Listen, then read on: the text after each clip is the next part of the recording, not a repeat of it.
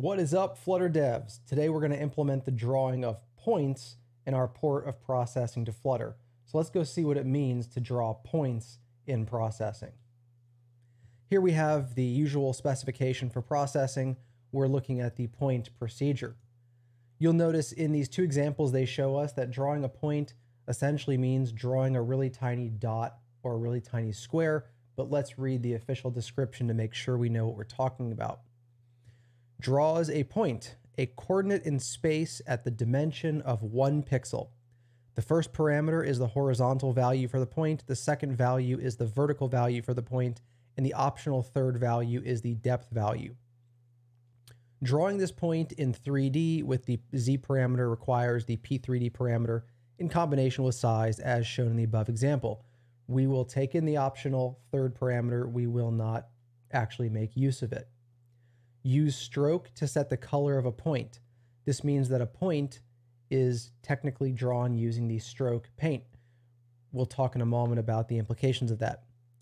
Point appears round with the default stroke cap of round and square with a stroke cap of, of project, short for, I think, projection. Points are invisible with stroke cap of square. Use point with stroke weight of 1 or smaller may draw nothing to the screen depending on the graphics settings of the computer. Workarounds include setting the pixel using set or drawing the point using either circle or square. This stuff here at the bottom really doesn't impact us, uh, or I guess that's going to be true no matter how we implement it. Let's talk about this using stroke to set the color of a point. The first thing we're going to try is we're going to we're going to try drawing a square and a circle and giving it a stroke, but just making them the size of one pixel. We'll see if that works. But the problem is if we draw if we draw a one pixel square or a one pixel circle and and it strokes either on the perimeter or around the perimeter, it's going to end up being larger than just one pixel, and therefore it isn't really what we want here. The second thing is that the what determines whether it's a square or a circle is the stroke cap.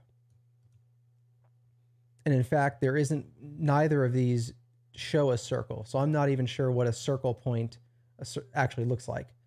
Because what what is the difference between a square and a circle if you're only filling one pixel? I'm not really sure. We might just not worry about that for now until it comes up somewhere else where we can see the difference. But stroke cap,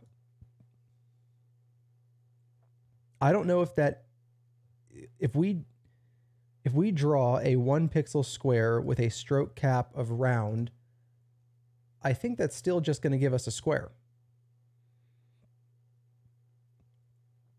I could be wrong about that, but I think that's the case. I think that because of the ambiguity here, because there are not enough visual examples for us to see all the different ways this might look or the way it's supposed to look, I think we'll kind of gloss over the stroke cap and the round point. I think we'll just aim to get a one pixel square point implemented. And then later down the road, if we run into use cases where we need something that doesn't quite work, we can come back and refactor and update to do the right thing. My thinking right now is that we will try to draw a one pixel by one pixel square using the stroke paint only and see if that gives us this result. If it doesn't, we may need to create a temporary paint and actually fill a square instead of stroke a square. But let's find out. As always, we're going to begin by writing the tests that we want to support, and then we will implement the code needed to run the tests. There are two examples here, but notice that the second example uses a third dimension. It pushes the point back in the z index or the z axis. We're not going to implement this second test. We're just going to implement this first test. Here in our test file, we'll grab an unrelated test, copy it, and then make adjustments. We'll copy the line test example or line example test down here. We will call this point example one, we will change the name of the golden file to point example one. We will say s dot point. We will take in an x value and a y value. And there will be an optional z value, but we're not testing for it, and we're going to throw an exception if anybody uses it. Here are the points that we want to draw. Me copy these over for reference. The first one is 30 comma 20. As we did in the last video, we're going to use the cascade operator to run multiple operations on our sketch object at one time. Then the second point is 85 comma 20, then 85 75, then 30 75. And the auto formatter collapsed that down all to one line. I don't like that. So I'm going to add these otherwise pointless comments in here to prevent the auto formatter from doing that.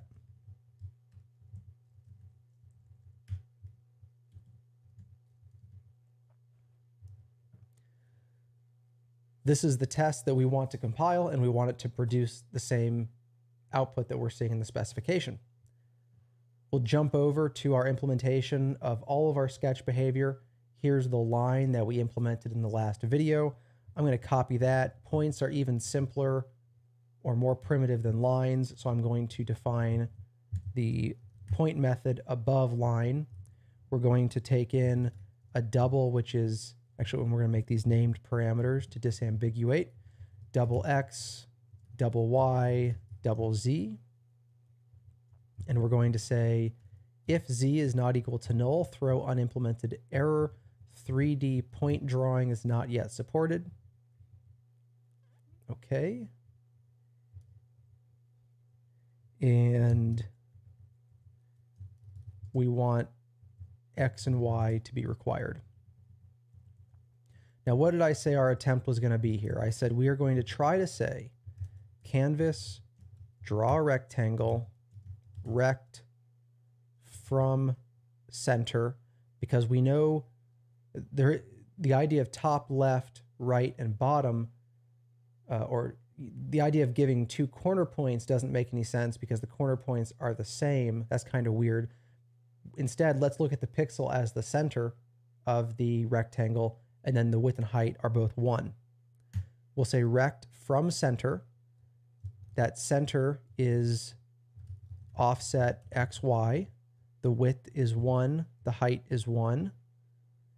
And then we're going to use the stroke paint draw a rectangle at XY, width of one, height of one with the stroke paint. Now my initial expectation is that this thing is going to be larger than one pixel because we're using the stroke. Maybe I'm wrong about that. If I'm right about that, we're going to have to reevaluate what we're doing here. Let's save that. Our test now compiles. Let's run the test. Update Goldens, plain name equals point. Run that.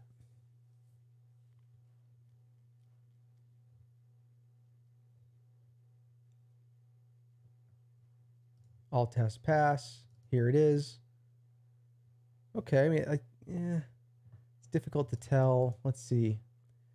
I wish we had some some grid lines or something here. Okay, there's the grid. So it is it's too big. It's actually four pixels, not one pixel. And my assumption is that's because, as I think that's the case, yeah. And that's I assume that's because stroke applies to the boundary of a shape, not the inside. So the question becomes, how do we want to handle this? I think for now, maybe we just completely ignore the possibility of circular points. We ignore the the relevance of the cap. We create a new paint inside the point inside the point method, which uses the stroke color but applies it as a fill. That's what I'm thinking. Let's at least see if that solves the problem or gives us the right visual. Because see, we do we want the color of the stroke, we just don't want the style to be stroke. Or I guess another thing we could actually do is we could say stroke paint style equals painting style fill, and we just need to remember to set that right back when we're done. Let's see what that gives us. Let's run the test again and regenerate the golden file.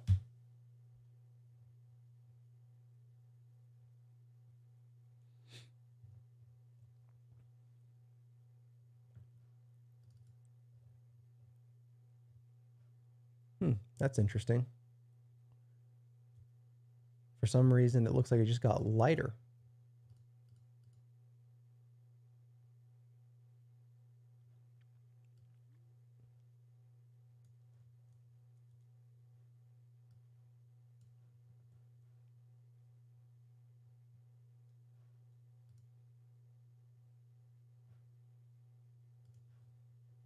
I don't know.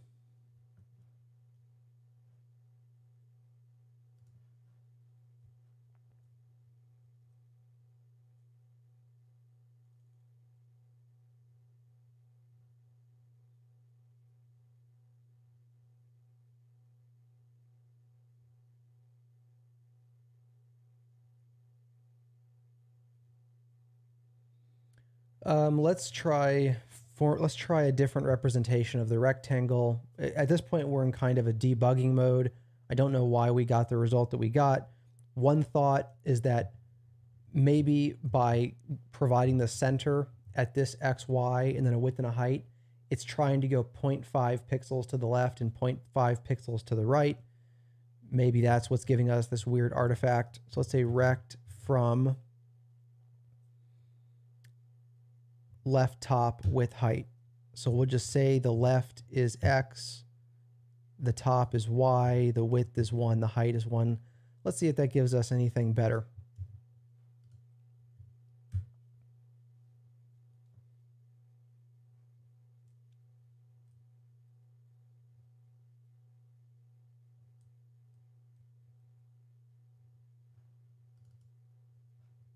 Okay, so that you based on this grid, that did actually give us a single pixel.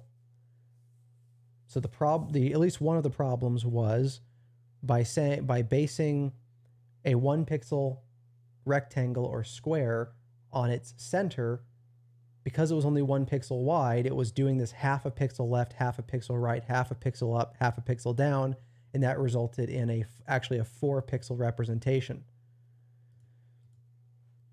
let's also let's let's see if we can get away without messing with the style. Let's see if we can go back to a stroke style and still have the result that we want.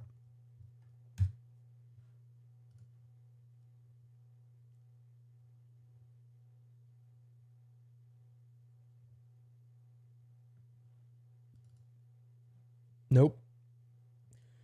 So you see you see now what I'm saying when I talk about the stroke applying to the boundary, now we're worse than ever. Now we are nine pixels. There's the center pixel, which is the actual kind of inside of the square. And then there's the boundary around the square. We end up with this really weird looking kind of anti-aliased quasi stroke thing. Okay, we'll go back to what we had here by changing the uh, the stroke style or, or the paint style, we are not actually using the stroke. We're not using the the curve or line or on the outside of the shape. And I think what that means, I could be wrong about this, but I it might be the case that the stroke cap no longer has any impact. I don't know if, if the stroke cap impacts the shape of the fill at all where the where the segments join. In any event, I think this is good enough for now.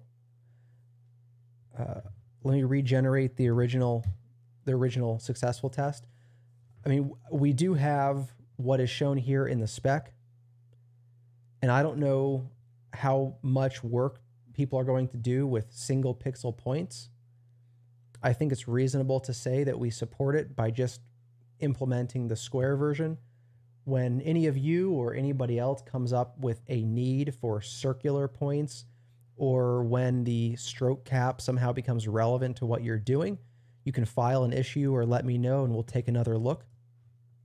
But for now, I think this is a sufficient success.